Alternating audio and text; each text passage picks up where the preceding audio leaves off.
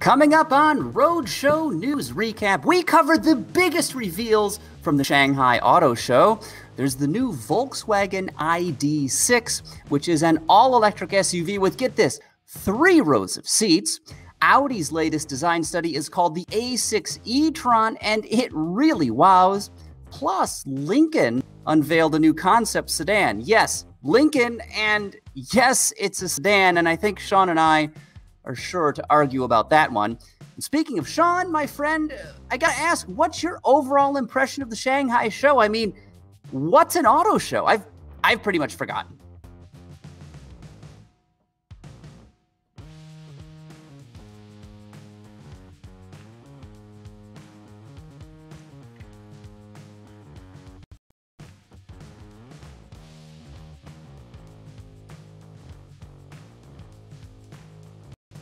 I am so sorry about that. I was muted. sorry about that, Craig. Uh, we had a ton of new stuff at the Shanghai show. Clearly, automakers were super excited to get to something in person, and there was a ton of new stuff for us to talk about.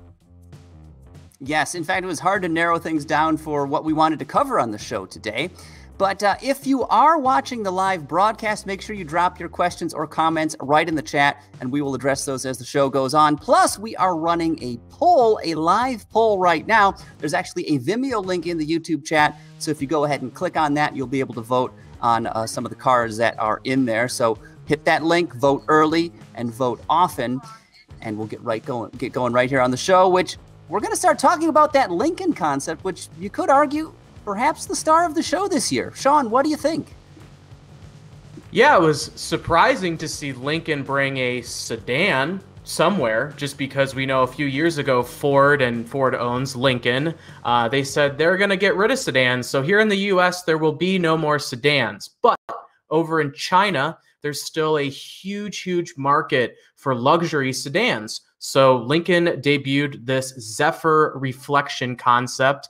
Uh, Craig, you're you're a Ford guy, so that Zephyr name I know means something to you, uh, and perhaps some people yes. who remember the modern Zephyr. Um, but this thing, it, it looks really good, and uh, I know you're not the biggest fan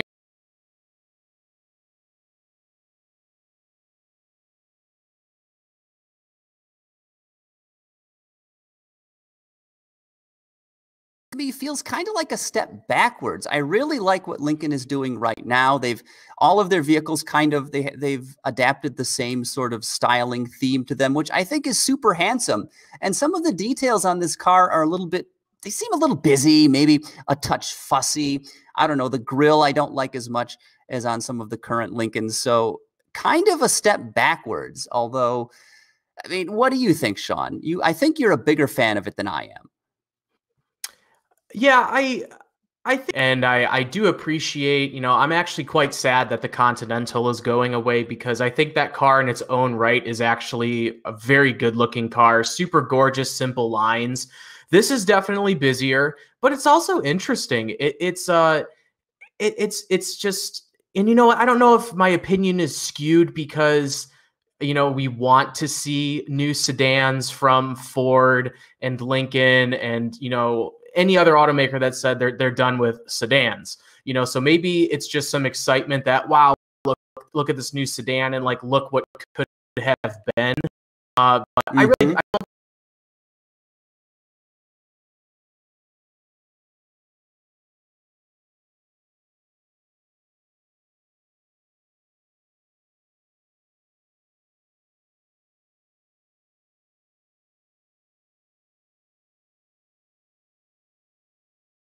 the MKZ uh, would have uh, stuck around. I know it, right? And the Fusion, its last generation, was a great car. It looked beautiful, had million dollar styling. The thing looked like a freaking Aston Martin. And Ford sold a lot of them, but apparently hundreds of thousands a year. They just can't make a profit, I guess, doing that. It, it, I, I don't understand why, but they obviously discontinued it in the US. And doesn't look like there's any hope that this Lincoln Zephyr reflection concept is going to come here to the US either. sounds like it's China only. Is that right? Yeah, that's correct, Craig. This car is not coming to the United States. There are no chances of it. Don't get your hopes up. Don't cross your fingers and don't stay up late at night worrying about it because it's not going to happen. Yeah, yeah. But uh, looking at the YouTube chat, uh, Tommy K says, Love it. Sorry, I disagree with it being a step backwards. Now, one's entitled to their own opinion. Um, I don't care for the exterior. However, the work that they did on the cabin of this car is freaking amazing. It's got basically a pillar to pillar screen, which looks really cool. But the rest of the design of the interior um, is very tasteful, very clean. There's a push button shifter that you get on the center of the uh, of the center stack that you can see in there. And then there's sort of like uh, a Lincoln Star motif they've embossed on some of the leather on the door panels. And I gotta say, the cabin looks beautiful, and that two-spoke steering wheel super cool as well. It, uh, if they could bring that interior to a, a different sedan in the U.S. with a slightly different exterior, I would be all over it. Yeah, I said when I first saw this car, and uh, uh, we wrote about it this week when it debuted. It they somehow got that uh, Lincoln Aviator Navigator swagger and packaged it into this interior for a sedan.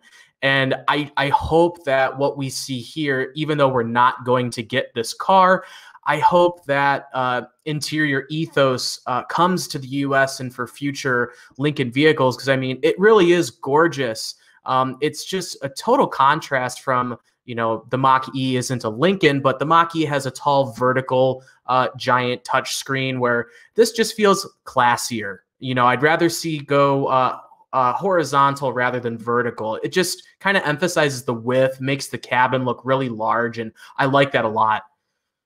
Mm-hmm. Very true, very true. But uh, for now, at least, this is only a concept. Even though, I mean, nothing about the design is is is radical at all. There's no reason they shouldn't be able to build this car. Uh, same story with the next vehicle on our list. It should be a production model as well. The Volkswagen ID6 SUV. Didn't they just introduce something called the ID4? What is the ID6 now? Yeah, this one's just for China as well, uh, as are a lot of the vehicles we saw there this week. Uh, this you could consider a larger Volkswagen ID4. This has three rows of seats, like we mentioned before. Uh, Volkswagen hasn't said if they even thought about bringing it to the US, but first and foremost, this model is specifically to cater to uh, how the Chinese like to use their vehicles uh, a lot of chauffeurs, more back seat room. That's why the third row is very important for this vehicle. Um, they also didn't give a lot of specifications about it, but we do know the orange one you're looking at there on your screen is the uh, the Cross, the ID6 Cross. Very weird name that comes from a Volkswagen concept yes. car they showed. Uh, that's supposed to be the more rugged one, Craig. Then the purple one you're looking at is the ID6X, which is supposed to be the sporty one.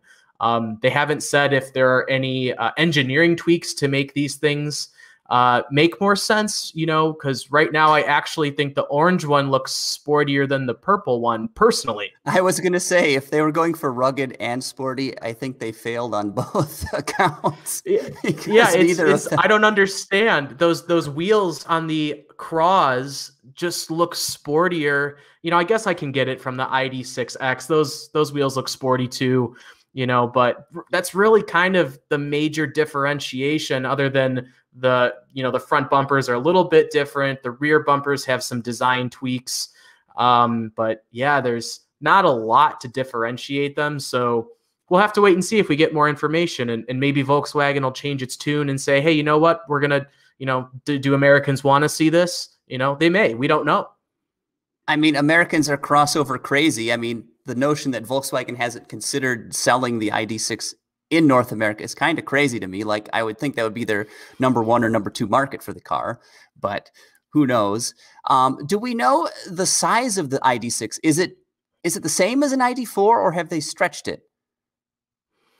Uh, it's it's a little bit bigger. Uh, again, we don't have uh, a lot of the uh, what do you want to call it, finer specs. Uh, they didn't even show us a photo of the interior for this car yet, which I thought was kind of strange. Insanity. Um, yeah, it, I don't understand. You know, automakers, we love to see the cars. You know, so show them to us, even if we're not going to get it. You know, maybe maybe people yeah. will fall in love with it watching the show. but uh, the only technical specs we got Craig, uh, are 300 horsepower from both of these, and Volkswagen says it'll go to uh, 62 miles per hour from a standstill in 6.6 seconds. Uh, they're targeting 300. Yeah. yeah. yeah, pretty good. And, and they're talking 365 miles of range uh, on China's NEDC cycle, um, like the European version that's a little more liberal than the EPA cycle. So yeah. if Volkswagen decided to bring it here, we're probably talking about 300 miles of range, a little more, a little less, uh, somewhere in that ballpark. Mm-hmm which isn't too bad. That's about what the Mach E Mustang tops out at, right? Obviously, you can get some yeah. Tesla vehicles with more range than that, but 300 Yankee units of driving distance on a charge, that's pretty good, especially for a vehicle with three rows of seats. Yeah, absolutely. And and that's what I was going to say. If, you know, the Mach E really isn't a good comparison because that's a much smaller vehicle, uh, you know, and again, we really wouldn't know that final figure unless the EPA rated it. And as far as we know, everybody, the EPA will never have its hands on this vehicle from what Volkswagen has said. So if you love it, you'd mm. have to go to China. If you don't want to go to China, then you'll have to look at an ID ID4. I don't know what to tell you. yeah, exactly. Um, did you mention also no interior photos, but they do say it's going to have a 12 inch touchscreen and no physical buttons, apparently. So, again, yes. no interior photos. We can't actually show you that, but take our word for it. Volkswagen said a gigantic screen, which is very much yes, Volkswagen industry trends right now. Correct. Yes, they're saying a giant screen. Uh, we'd love to show it to you. There's nothing like uh, understanding what the car looks like than two people describing it to you. But anyway, they're also yeah. saying there really aren't many buttons, and there will be uh, some sort of artificial intelligent uh, uh, voice assistant that will make up for that, Craig. So I really, really hope that's a smart voice assistant because it's nice to have some physical buttons no matter how big of a screen you have a lack of physical buttons, in my opinion, is a huge mistake. Like Cadillac learned that lesson. Lincoln even learned that lesson a little bit before Cadillac did. Like touch sensitive stuff, it just don't work real good. I mean, you need the tactile feel when you reach out to, uh, you know, adjust the radio volume. Like in Hondas that had that stupid slider, everybody hated that thing. Everybody. And it's just like there's no need to reinvent the wheel. Just have a physical control. You can see it. You can reach over and feel it without looking at it. You know what you're doing. It's just much easier. So if they're talking about only touch controls, that might be a mistake. We will see. I I, I want buttons in my car. I am by no means a, a uh, against a touchscreen. It can be very helpful. Apple CarPlay is a wonderful addition to modern vehicles or Android Auto, whatever uh, uh, operating system you use on your phone. But seriously, just to have a knob if I'm cold to turn up the heat or something, eh, that, that there's nothing nothing that works better. Yeah, or ha- so you don't have to dig through you know four different layers of menu structure to get to the seat heater controls or something. It's just right there on the console. Click. Now my butt's getting warm Done. Very easy. Absolutely. Craig loves his butt warm, everybody. You heard the man here. Even in summer, I crank those seat heaters up. No. Uh, so, our next car so, no interior photos of this Volkswagen and no interior photos of the Audi A6 e tron concept. What a coincidence. But that's the next vehicle on our list. This is apparently an exterior design study only. And man, what a looker. Yeah, this looks pretty darn good. Audi's saying it doesn't precede a specific production model, so this could end up being nothing. Um, don't do that, Audi. Like, please incorporate this into some sort of production car because I really, really dig this car's silhouette. It it finally looks fresh. I've said before, um, a lot of new Audis just kind of have this you know, stale. It looks kind of like it did a few years ago look about them. This I feel yes. like ties in that Audi look, but it kind of brings it into the future that I haven't seen with some of their more recent concepts. There's just something about this car that it looks production friendly, but it also looks futuristic. Yes, exactly. There are definitely definite Audi design cues on this vehicle that are familiar, but they've sort of reinterpreted them. Like the grill is a slightly different shape. The the back end, the way the tail lights, which Evan is showing right now, the way those are designed um, are slightly different from what you get on current Audis. It's a it's a beautiful sort of reinterpretation of their current design theme, which this car is quite a looker. Um, and it's it's it's interesting because Audi was sort of the brand that, at least in my memory, really kicked off the, the trend of the giant grill, right? They've got they sort of started that 10 or 15 years ago when they eh, introduced that single frame that grill on the front of their cars and now we see a whole bunch of other automakers sort of following it, that trend from I mean, genesis we'll get to a genesis concept or a genesis car later in the show. Genesis has huge grills these days as well but it's interesting to see audi reinterpret that look and they're doing it very well because they're claiming drag coefficient of just 0.22 on this vehicle which is pretty low um, which is, of course, a huge benefit if you're going all electric and range. I mean, range is, of course, a huge concern with electric cars. Uh, so to get that drag coefficient as low as you can is only going to help the driving range. Um, they're also talking about cameras for side view mirrors, which is a great idea. We can't have them here, Sean, because as you know, we're not allowed to have nice things because of the uh, federal vehicle safety standards and all of that. And then the vehicle also rolls on 22 inch wheels, which for a concept that ain't huge, really. No, I, I kind of have a funny feeling that even though they're saying this, it doesn't directly preview something that we're looking at something here. Like this could influence the next A6 or maybe the next A7.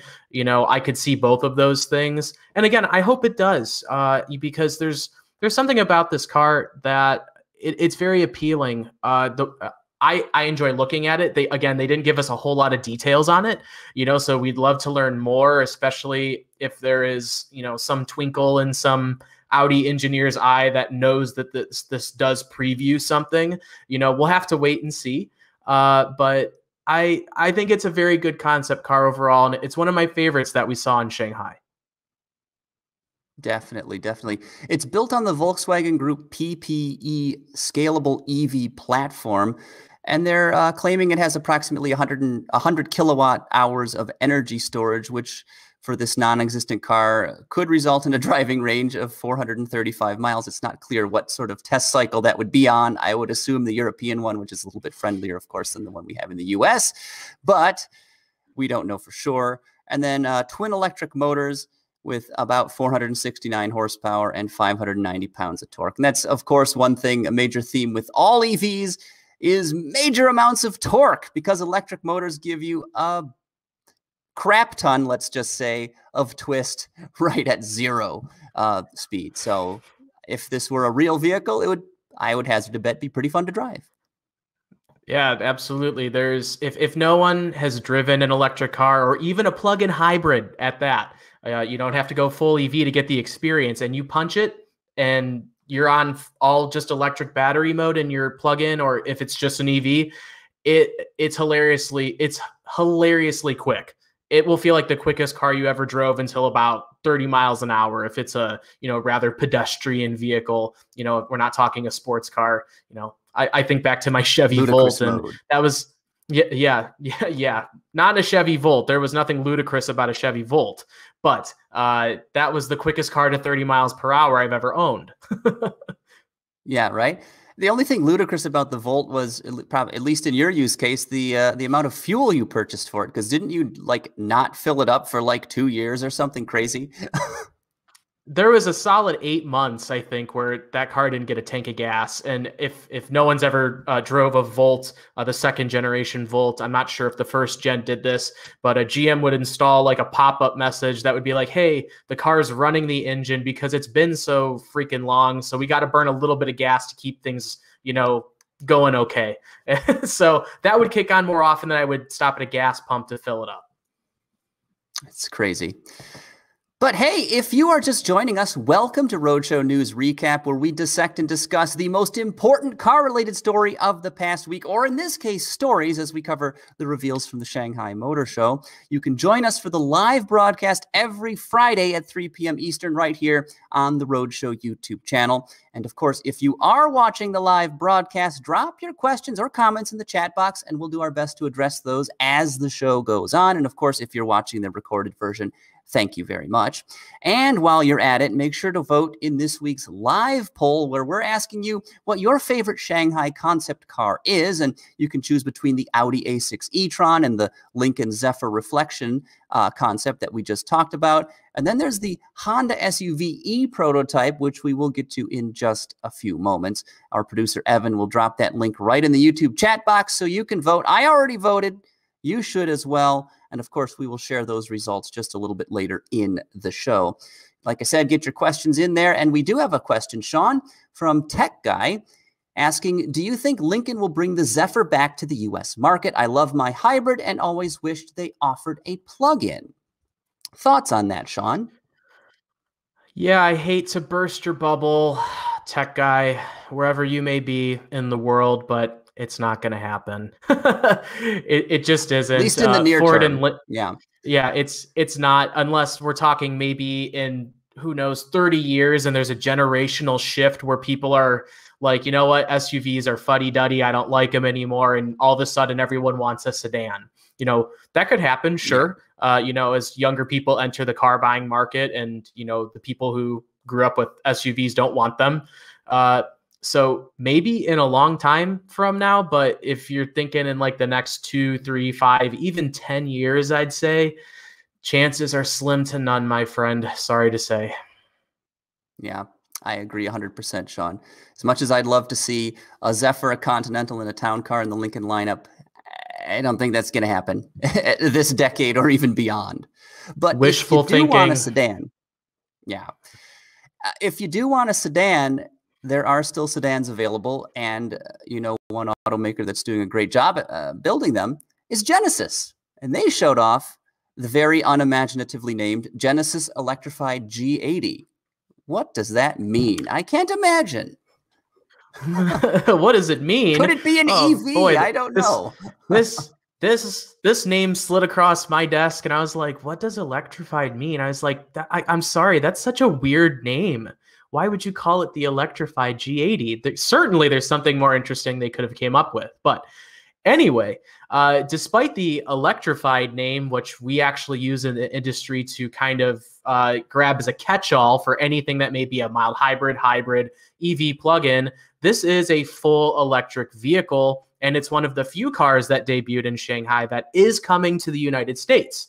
Uh, it's got some pretty good specs here, Craig. Uh, we're talking uh, 265 miles of range on the Korean certification system. That sounds about right for the U.S. I would imagine it's going to land somewhere somewhere in that uh, realm. Uh, they're saying zero to 60 in 4.9 seconds. It gets some other subtle changes like the revised grill.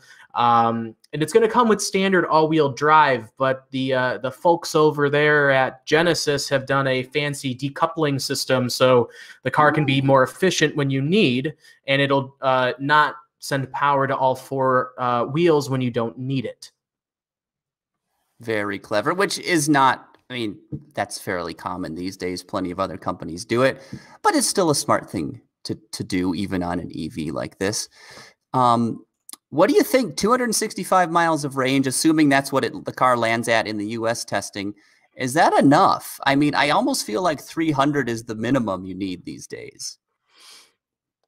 I think it's a little bit low, um, though this isn't riding on Hyundai Motor and Genesis is a, a, subsidiary of Hyundai Motor. So it's not riding on their dedicated EV platform. Um, so I just think that we knew this car was coming and I don't think it should be surprising that the range rating is that low, uh, just because your starting point is a vehicle that was designed primarily to have an engine up front. Uh, so I just think it's not a surprise. So I'm not like, oh, that's not enough. It's a bummer. I just kind of think uh, that's what was expected. Uh, Genesis mm-hmm. is going to have more electric cars coming that will, I'm sure, surpass 300 miles of range. But I've said it once before, Craig, and I'll say it again. The average American does not drive 265 miles a day. Uh, it's probably more like no. 30 miles one way, maybe at that. I can't recall the actual statistic, but it's going to be plenty as long as you have a place to plug this thing, this this car in every night. It'll be fine and and especially in the corona corona era like fewer people are commuting i mean i just i've got a hundred thousand miles on my slippers right now because i go from the bed to the work desk don't ever leave Haven't the house we all become the, the sunshine pant enthusiasts i mean oh gosh i may get much better I'm wearing a sport coat but you don't see down below. It's it's pure sweatpants all day. If I have to put You know- jeans on, uh, uh, I deserve hazard pay because it's just such an inconvenience. Yeah, Friday's a special day. I'm like, you know, I'm gonna put jeans on just for the show and make it feel like we're not in uh, COVID times. You know, so Fridays Right? Get all dressed special. up by everybody. putting pants on. yeah, exactly, So- exactly. just to back up for a second, uh, though much is much is taken mentions in the chat. I drive a Gen One Volt. Unfortunately, I've never seen that message. I guess about when the engine turns on to, uh, to Oh, okay. Yeah. just burn some fuel to keep the system going. So did did that Mhm. pop up a lot with you, or was it pretty rare? No, because I've no, never seen was, it either. It was pretty. It was pretty rare. Um, in that there was a long stint uh, of me owning the car where I seriously didn't put gas in the car, so it was filled. You know, I had filled the tank at some point after probably a a, a road trip. You know, because it only goes about uh, what is it, fifty two miles is what it's rated for on just battery power. Um, and then a, I would say six months in, a little message popped up on the driver cluster saying, "Hey, we're going to turn the engine on to uh, burn a little bit of fuel and fire up the engine because it's been so long." Um, but it didn't. It wasn't often. It would do that. I don't know. I, I want to say every six months. You know, so in that stint where I wasn't gassing it up very often, I want to say I saw it two or three times. You know, so it wasn't obnoxious or anything. If, that's what um, Yeah. uh, the YouTube uh, questioner was asking. Yeah, yeah, definitely. It's it's interesting too, and it's it's almost there to remind you that hey, you can go longer distances than 52 miles or whatever the rated range was because you've got a gasoline engine. You can go anywhere you want. Don't forget. Yep. Yep. Absolutely. That was a great car. It's not on our list to chat about, but I would highly recommend. I'll, I'll plug it right now. And this isn't sponsored or nothing like that. It's just a good car. If you're looking to dip your toes into like an electrified car, a Volt can be dirt cheap used, and it's a very good car. Yes, and really, like what surprises me is that plug-in hybrids are not more popular than they are. I get that they tend to be more expensive because you've basically got to engineer them with two different powertrains and they have to be able to talk to each other and work together. So there's more cost involved, more more effort involved. But a plug-in hybrid could be the best of both worlds. If you're only commuting 20 miles to work each day and you've got a car that offers 50 miles or more of electric only range, you're never buying fuel for that thing, you know, 5 days a week. Then you still have the flexibility. You want to go 300 miles on the weekend out to your, your cottage at the lake. You can do that as well and not have to worry about charging. So in a in a big country like America where everything is spread out, they're like, to me at least, the perfect solution. But I guess I'm missing something because nobody buys them. yeah, it's unfortunate, but uh, I don't think automakers ever figured out how to market them or explain how they work very well um, to average car buyers. Because I know when I had my Volt, uh, it was like, oh, so it's electric, and I'm like, no, it's not totally electric. They're like, oh, so it takes gas. Well, it does, but it doesn't just run on gas. Well, how does it work? You know, so it's it's Mhm. not an easy thing to explain to somebody, you know, who and that's not their fault. You know, people don't not everyone follows the auto industry and knows the ins and outs, and that's totally fine. And that it's somebody else's job who wants to sell that car to help people understand how it works. And if they don't get it, Yeah. they're not going to buy it. They're going to jump into a, you know, at the time a Chevy Cruze instead. You know, they just go to the fuel pump and they're done. Yep. Nothing to worry about, nothing to think about. Uh, Mhm. Genesis Electrified G80, least creatively named car in history, perhaps. Um, did we talk zero to 60? Only 4.9 seconds. That's plenty fast for a big, comfortable Ooh-wee. sedan. Yeah. N- You know, Craig, I, I don't like that revised grill they have going on up front there. It it it's No? uh I believe it it's kind of like a, a closed off version of the uh, standard G80s grill. And I, I think they tweaked the front end a little bit too uh, for aerodynamics. I think this car looks great when I first saw it, you know, with just its standard uh, internal combustion engine version. This one seems tamer. There's something tame about this car. Um, I can't quite put my finger on it, but I don't like it as much. I haven't noticed Um, that. I haven't noticed that. I think it's quite a beautiful car. I mean, what Genesis Design has been able to do in, in just a couple of years, their their designs are like they're assertive, they're adventurous, but they're also they're not gaudy or over the top. You look at like a Lexus and they're just like screaming at you, right? You don't get that with Genesis. I mean, they've got they're very Yeah. avant-garde, but they're not over the top, which is a good place to be, I think. Oh yeah, it's definitely But- refreshing. And I've said before, Genesis cars are are beautiful in my opinion in general. But just something about this one, I, it's something about that front end. Um, I'd have to put them side by side, and I haven't, so I can't like draw circle the differences very well. Uh, you know, maybe that's Mhm. my weekend activity. You know, with lots of partying going on, and everyone, you know, I'll email out, you know, like everyone circle the differences on the G80 electrified or, or something.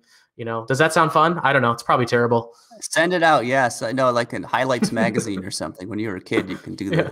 word search or the spot the differences. Uh, Yeah. But the, this Genesis supports 400 to 800 volt charging, and they're saying it'll it'll take go up to 80% charge in just about 22 minutes. So when you're using the fastest supported charging, which ain't too bad. Um, and it also features onboard electrical generator capability at up to 3.6 kilowatts. So that allows you to, you know, if you lose power at your house or something, you can plug your freezer in and then you don't lose everything you got stored in there. You plug your fridge in, watch TV, whatever. So that's that's pretty cool. And You know, obviously we see that with of- other electrics. It's kind of a Ford F one fifty, Craig. What what you know that vehicle has that too. So Absolutely. really, Genesis built an F one fifty. Everybody, so that's kind of cool. Just a smoother and more comfortable one that doesn't tow as much, but Yeah. no, it actually uh, to to be serious, the uh, the generator that this has on board has more power than the uh, most powerful version that Ford will install in the F one fifty hybrid. Uh, so there's a lot of Hmm. power here. I, I believe Genesis had a fact sheet. I don't have it on me, unfortunately, but it uh, it showed uh, how, what you could power with this much uh, electricity on board if you used that function. But that's a pretty cool thing that these EVs are doing uh, to just be like, oh, did your power go out and you want to power your fridge still? Like, okay, well, the car will do that. Like that, that's a Yeah. neat little baked in element that I would have never thought of because as I've said on, I think every episode, I'm not an engineer. Neither am I. I can barely balance my checking account, much less do calculus. So, and think I, I started college wanting to be a mechanical engineer, and then I hit calculus, and I said nope. And then you cried. Then you cried. Then I cried. yes, because I don't get. I have friends who cried. well. I Yeah. have friends who cried in that program, and I looked at it and I'm like, I'd cry too, and that's not even my major. Yeah, right. Just thinking about it gives you stress. But yeah, that's yes, to your point. you. A major benefit, major benefit of EVs. You can power other stuff, and with 3.6 kilowatts of juice in this Genesis, maybe we'll see construction workers start to buy them and park them on the job site so they can run their air hammers and air compressors and all that other stuff, saws and jackhammers and whatever. Probably not. Oh, But you never know. maybe. You never You know. never know. Before we move on, uh, Silver Demon 92 in the chat says, I was actually thinking that this grill better integrates with the rest of the design compared to the standard G80 or G90 sedans. The grill seems more tame compared to the standard G80 and G90 sedans. So better integrated, but perhaps more tame. And I, I could definitely see that. Yep, this, uh, I agree. That is that's very astute of uh, you to point out, uh, internet commenter. I, I like your take on that, um, and I think that explains why I may not like the car overall as much because I kind of like that punchier, uh, more jagged uh, grill on the uh, standard vehicle. Um, so that's astute. Good observation. Yeah. You get a sticker. You get a sticker. I'll mail it to you. Yeah, mail in the mail because unless we can email it or something, I'm not sure how the internet works. I'm not good with computers. No, But no. next up, a Ford. And it's not a concept, I understand. It's sort of a hatchback wagon SUV. It's called the Evos. And I have no freaking idea how you classify this. What the hell is it? I can see it. It's I- partially a sedan. I- it's kind of a wagon, but I don't know. It's it's uh, all of the above. Uh, D, all of the above. Uh, yeah, this one. What an interesting thing that Ford showed over there in China. And, and to back up, if if people have been following along at theroadshow.com over the past year, um, we've had some stories that Ford was planning some sort of uh, vehicle that fit this description. Um, to replace the Fusion here, and also in Europe because in Europe it's called the Mondeo, and they announced the Mondeo will not be any longer. That the Mondeo and Fusion were the same car. Um, I asked Ford, and point blank they said, "Nope, this is only for China." You know, so the jury's still out on if that kind of car actually exists that will come to the U.S. But this one, as you see here, is not coming to the U.S. Uh, as Ford has said. But yeah, what a what a mishmash of things. But honestly, it's it's cool, Craig. I think it looks really good, and that interior kind of blows away either, yeah. a E. Yes, it's because it's a 27 inch 4K resolution pillar to pillar to pillar screen, and that looks freaking cool. And the rest of the interior too, the screen is very well integrated, right? It's not just stuck on there and taped on the corners and screwed in place, whatever, just thrown in there. It, it's integrated into the rest of the design. It looks great. Yeah, and uh, I, I, we would love to show you more photos, but I guess the trend in Shanghai was just give them two photos because so many debuts came and there was like three pictures average on each of each car. so we That's have why we uh, don't have any like, B-roll to share. It's only stills. yeah. Yes. So, and we have just the front. I don't even, none of us know what the rear of this car looks like. Uh, I haven't seen a single photo of the rear end. All we've seen are the front, and it looks kind of. And if if uh, anyone out there watching, it. they don't want on, you to see it. yeah. If if anyone out there watching on YouTube or Facebook uh, this car traces back to a concept car, and if you drop what it is, uh, maybe Craig will give you a coupon for a free something, or I don't know, a coupon for groceries or something. Uh, there is a concept car that this traces back to. Definitely. So, just to back up for a second, you actually reached out to Ford, and it was remarkable that um, not that they said that this is not a replacement for the Fusion in Mondeo, but that they actually responded and didn't just say, we don't comment on future product. It's remarkable that they gave you a real answer. right? Yeah, that's but you know what that says is is that that is the answer that in no way shape or form should we expect to see this car in the US. So, uh grateful yeah. for the straightforwardness from Ford PR. Thank you. We always appreciate that. yes, yes. Um, lots of tech, I would assume, in this car. We know it's going to have over the air software updates, at least for the infotainment system. Um, and it's going to offer Blue Cruise, which I believe we talked about in last week's show, which is, of course, Ford's new hands free driving aid that works Blues a lot Clues. like GM Super Cruise. Yes, Blues Clues, Blues right? Clues. You'll get a notebook and a dog comes with it. It's really cool.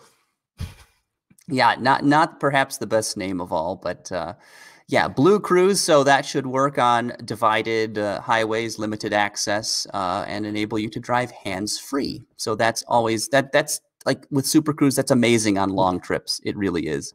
It just takes so much of the stress out of driving. Um, and they're yeah, saying this yeah. this Evo should arrive uh, in dealers in the coming months. So this is like fully baked and ready to go. Yeah, that I we don't have any powertrain specs on this either, or I didn't see any. Maybe perhaps some has come out this week as the show has gone on, uh, but we we didn't get anything other than some uh, basic details on it. And I mean, I guess quite frankly, at the end of the day, it doesn't matter because it will not be coming here again. And I think that's a shame. Hopefully, something Sad like this trombone. does come. Sad trombone, indeed. Sad trombone. Maybe it can be a new Ford Edge, which is something Kevin B commented yeah. on in the chat. And Silver mm. Demon 92 also says, I prefer this interior layout over the existing giant tablet of the Mach E. And I would agree 100%. When you see the giant totally iPad alone. stuck to the dashboard, um, it looks kind of like an afterthought. Whereas the interior mm-hmm. of this mm-hmm. Ford, Evan just pulled it up, beautiful 27 inch 4K resolution display, display that is actually part of the design. It's not just stuck on there. So, again, if you are watching live, leave your questions or comments in that chat room. Uh, we'll do our best to answer those as we go on. One more concept to talk about, Sean another SUV from Honda. Not much to say about it, though, unfortunately.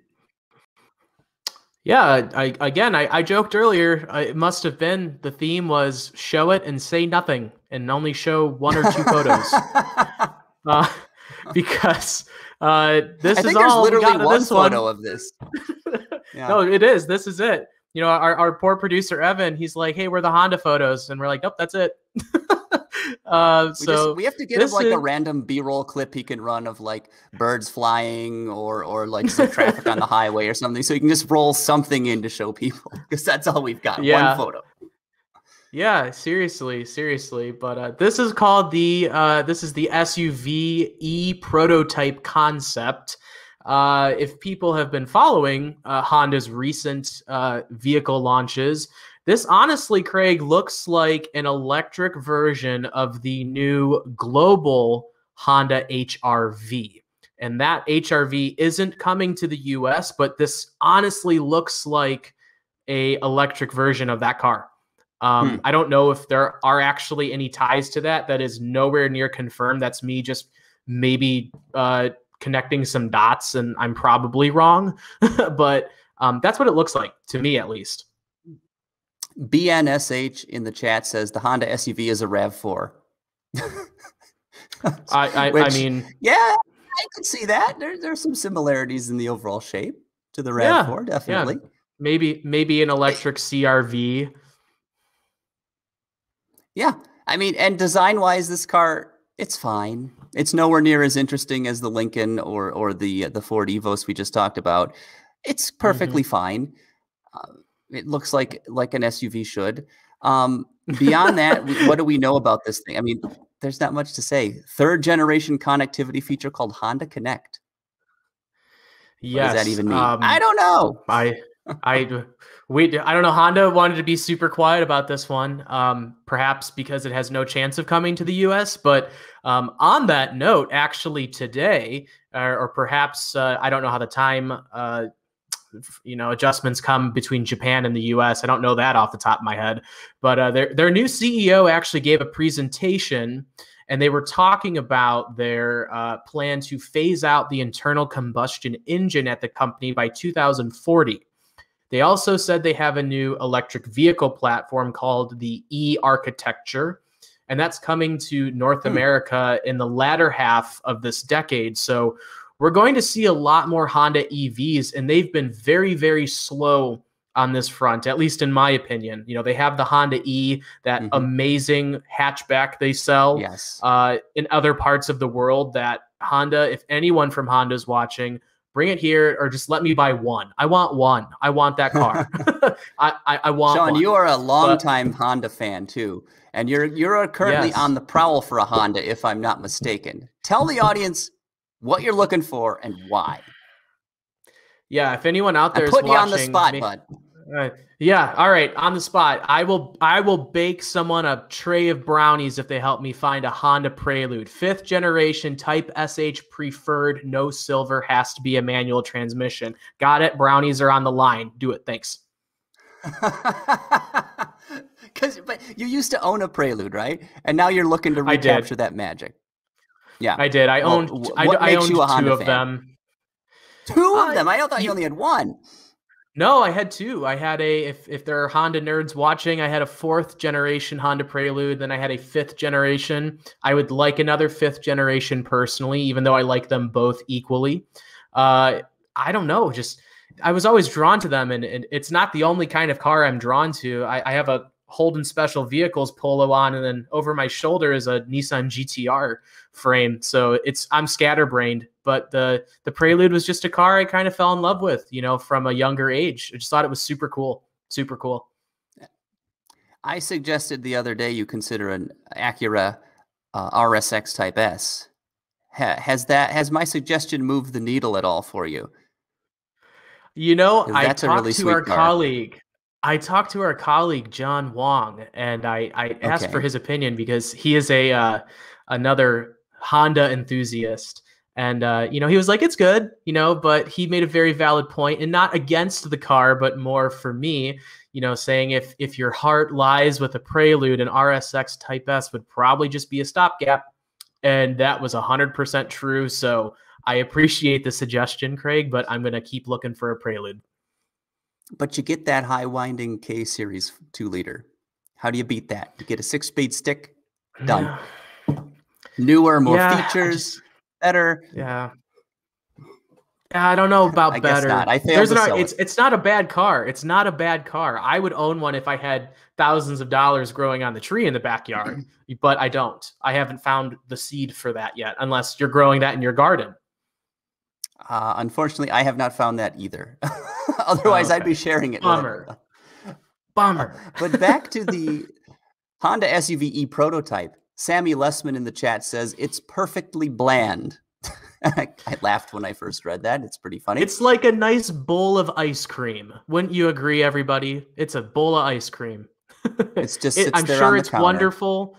Yes, it's just you know, it's it's vanilla is tasty. There's nothing wrong with it, you know, but you know, there's no uh, you know nuts or chocolate sauce or anything like that. You know, it's it's there, and it'll get the job right. done. I'm sure.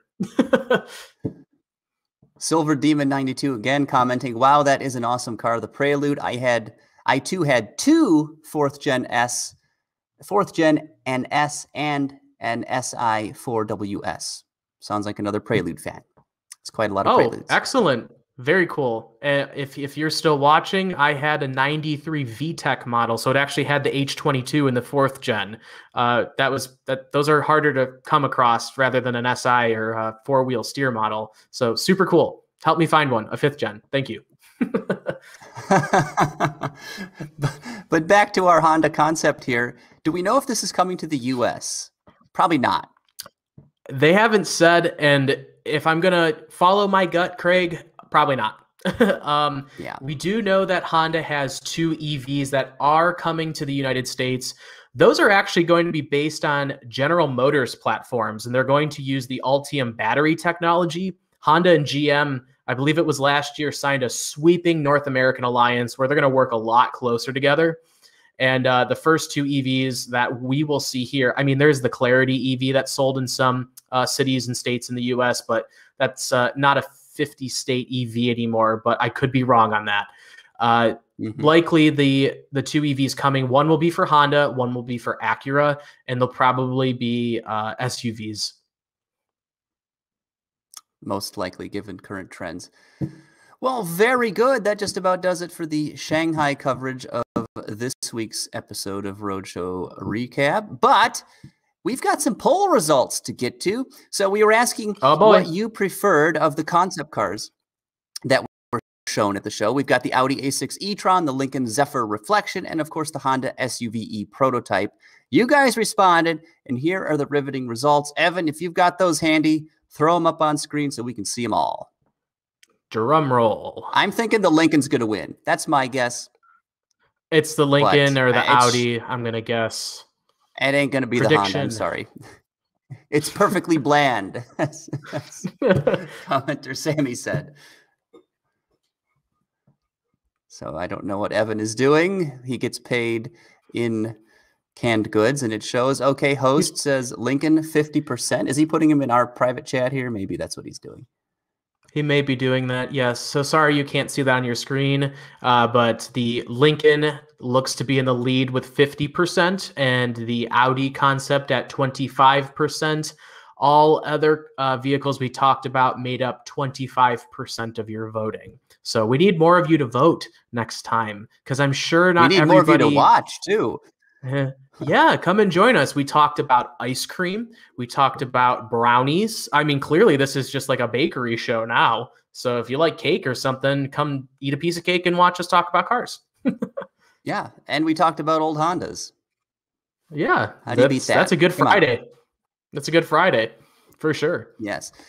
And we also had a bonus because we ran a very similar poll on the Roadshow Instagram page. And Evan, I'm going to ask you again do you have those results? Okay, there we are. So we asked, do you like or you don't like the Ford Evos? 69% of you said yes, give me that Evos. Only 31 passed hmm. on it. It's about what I would have expected. It's a pretty good looking car. I agree. The oh, Audi, Oh, wow. 90% to 10%. That is a whew, landslide. Y'all loved that Wow. car. And the Lincoln Zephyr, almost as dominant. 84% thought it was nice, 16% not so nice. But that's about what I would have expected. So, Sounds about right to Yeah. me. Sounds about right to me. That's that's kind of what I figured. Uh, I figured those would be the uh, the best or, or, the most appealing cars that came out of Shanghai, and I'd have to agree. You know, unless you're a big fan of of the Honda prototype concept SUV, which I don't know why you would be. How do you go from building an RSX Type S to that? It just seems. Oh, I don't know. That's another. That's another show, Craig. we don't have time uh, for that. Well, we'll save it for next time. What else, though? We've got a bunch of other stuff aside from Shanghai coverage that went live on the Roadshow.com. You cover the news. You've got your fingers on the pulse, Sean. What should our viewers be checking out on our site this week? Well, since we went through a ton of news, we actually decided to highlight some of the really cool cars that uh, we drove this week. Uh, we uh, had managing editor Steve Ewing, who drove the new 2022 Porsche 911 GT3. And uh, that's over on theroadshow.com. You can find his review. And uh, essentially, he says this is what this car should be. A huge fan of it. He walked away mighty impressed and for good reason because it's kind of hard to stumble into a bad Porsche 911. Uh, but I mean, this right? one like sounds like review it, writes itself practically. Oh yeah, it's amazing. Sure. Done. If you can afford one, yeah. go buy it. yeah, absolutely. you know, like maybe cross shop it with two other cars, but it, it's amazing and good job, Porsche. I'm going home. yeah. Very and cool, then uh, very cool. Yes, very cool indeed. That's over at theroadshow.com for anyone who wants to read about that. And then we also got our hands on the 2022 Hyundai Tucson. Uh, and our social media editor Daniel Golson said that's the segment leader now, which those them's fighting words, as we like to say, uh, to the Rav4, CRV, uh, Ford Escape, and Equinox. Mm-hmm. I mean, this is a that's a contested segment to say that uh, this is a segment leader now. But you know what? It looks like it very well may be. Craig, I don't know if you've driven it. I haven't driven it yet, uh, but nope. it looks super nope. promising. It, it does. I love the interior. I'm not as big a fan of the exterior, which is a bit sort of, I, I don't want to say hatchety, but it's got this chiseled look to it that um, I don't necessarily love, but that cabin is gorgeous. Totally. Yep, I agree. I agree. And then one other thing, if anyone's looking for something to read, 2023 Cadillac Lyriq, the production model, uh, debuted this week. Uh, it basically looks like the concept car, which is nice to see. That's refreshing. Uh, very good. And uh, look at that. There's its light up grill. Pretty neat. Uh, it's going to start at $60,000. Um, so that is uh, pretty decent, I'd say, for Cadillac's first EV, and it looks properly luxurious Absolutely. inside. I don't care for the exterior. I don't know about you, Craig. It's it's not my favorite, uh, but important car for Cadillac nonetheless. Yeah, it's definitely not my favorite. The, the, front end I can I can live with. The back end there's mm-hmm. a bit much going on, but yeah. yeah. for sixty grand though, it seems like a pretty good value for a Cadillac. I I agree. I agree. We'll have to see what comes of it. It should be launching this year. Yeah. So, for more information on any of the stories we talked about in today's show, there are convenient links right in the description box below. So, make sure you check those out. And at this point, I think the show has gone on for long enough. The weekend is here. And let's be honest, I kind of want to be done working. So, I think we're going to call it yes. here. 100%. Yeah. I agree. And I'm tired of talking with Craig at this point. Just kidding. How do you think I feel living with me? I mean, it's terrible. Anyway, Sean, thank you so much for your help. And of course, we owe a big round of applause to our producer, Evan Miller, for handling all of the technical stuff. And he has earned a sitting ovation from me. Wait, oh, that's, that's, not Evan. Who Evan. is this? I'm I'm oh. rescinding oh. that ovation. no, oh. I, the, the, check doesn't clear. Uh uh-uh. uh Oh, An imposter. I was I was gonna send him a coupon. He said he wanted some pizza. And I was like, yeah, I'll, maybe I'll send him a coupon instead of canned goods. No, we don't. Yeah. What did you do with our Evan? Why aren't we more concerned that Evan has disappeared, Craig? We better file a police report. or something. Anyway. Oh. Thank you all so much for watching Roadshow News Recap, where we dissect and discuss the biggest automotive stories of the past week. Again, you can join us for the live broadcast every Friday. It's every Friday at 3 p.m. Eastern, right here on the Roadshow YouTube channel. And with that, thank you again for watching, and I hope you all have a wonderful weekend.